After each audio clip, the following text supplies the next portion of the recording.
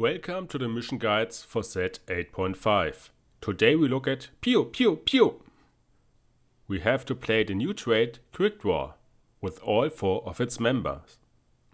For more information on the trait, pause and watch the video at the top of the screen or jump right into the comp.